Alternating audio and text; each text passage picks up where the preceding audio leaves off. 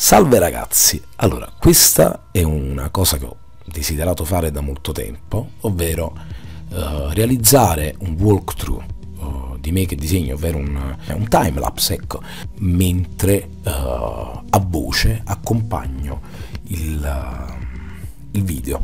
Era interessante anche per evitare insomma problemi di copyright e cose del genere con musiche di sottofondo uh, e poi era un modo anche per parlare di qualcosa. In questo caso, oltre a parlarvi del processo lavorativo che sto realizzando, volevo anticiparvi uh, che domani, 14 maggio, martedì, sarò presente per la terza volta su Radio CRC, sono stato estremamente fortunato, in questo caso dovrò parlare di nerd ed è per questo che c'è questo disegno.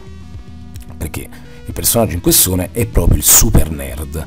Uh, infatti ho cercato di inserire tutta una serie di caratteristiche da nerd moderno, che ci credete o no, il nerd moderno ha il fisico spesso, e, uh, e poi ho messo una serie di caratteristiche, so, gli artigli di Wolverine, il controller, la spada di Zoro, i capelli da Goku Super Saiyan, gli occhiali da, da geek, insomma, da geek.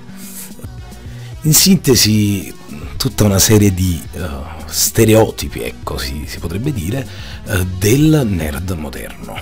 Vabbè, oltre a parlarvi del, del, disegno in sé, volevo anche introdurvi un pochettino i metodi uh, con cui ho lavorato. Beh, tanto per iniziare bisogna chiarire che sto lavorando con Photoshop.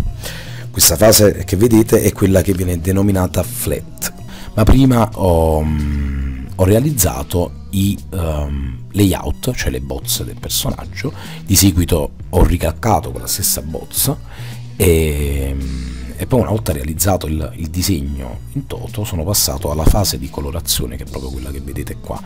Uh, quella del flat, che è quella della selezione dei colori, a volte è un po' noiosa perché è quella più meccanica, anche se mh, dà la base al, al, all'illustrazione completa.